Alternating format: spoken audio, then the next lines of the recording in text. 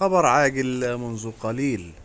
اندلع حريق ضخم مساء اليوم الخميس في المستودعات التابعة لوزارة التعليم في حي الروابي بالرياض فيما لم تعرف الأسباب. وأظهر مقطع فيديو متداول على موقع تويتر ووثقه أحد المارة بمركبته تصاعد ألسنة اللهب والدخان الأسود في السماء. بسبب حريق مستودعات وزارة التعليم بحي الروابي وأكد شهود عيان تواجد عناصر فرق الدفاع المدني والشرطة في المكان لمباشرة الحريق ولم يتضح ما إذا كان أسفر عن وقوع إصابات.